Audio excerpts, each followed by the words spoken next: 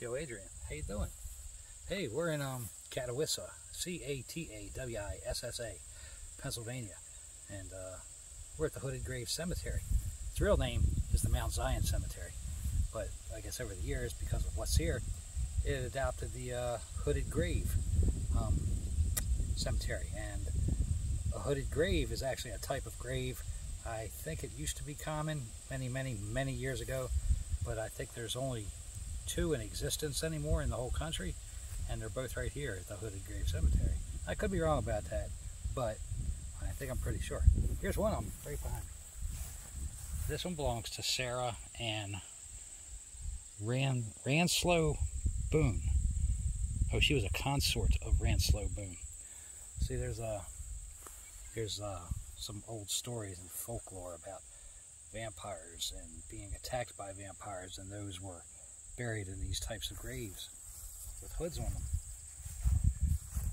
because vampires come back to life and they didn't want them to escape. So that's one of the stories, probably not true. Um, then again, Barnabas Collins would beg to differ. so uh, it's a pretty cool place. There's another hooded grave over here behind Adrian my lovely assistant, who's working her way up to baby ghoul status. uh, here's another one. It's really cool. Uh, has a nice hood. It's in good shape. Here, check it out. Has these little birds on each end.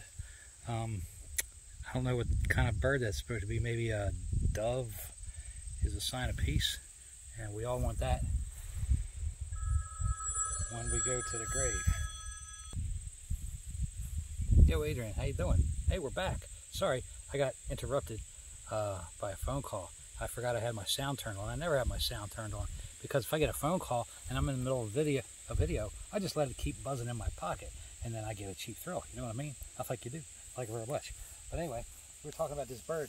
Um, they got the birds at the top. There's another one on the other end of the hood for this uh, hooded grave. And uh, I don't know, it's kind of hard to tell what kind of a bird it is, but if you look up close at the face, it looks like it's almost gargoyle-ish. You know, look, look, look at the eye on the, come here on the side.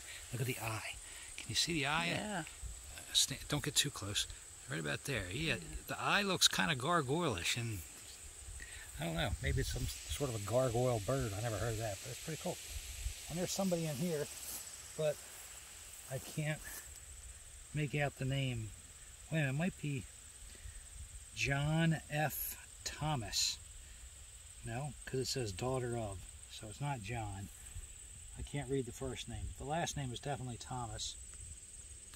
And uh, uh, that one's very difficult to read. It's covered with dirt and some grass and stuff, and I ain't sticking my hand in there because somebody lives in that house behind us, so we got to behave ourselves while we're here. It's got this big, beautiful plant growing out of it. Here's another stone on the front. Uh, probably unrelated. Whoever ABT is. Uh, I don't know. What's T stand for? Transylvania. Here's another bird. Gargle bird.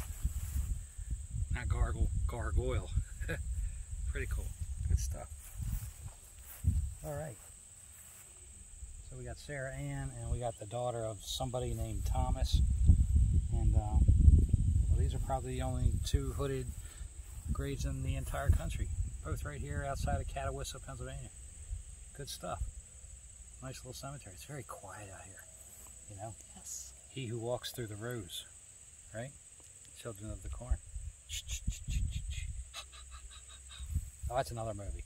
But uh, we'll see you later says the Wandering Woodsman.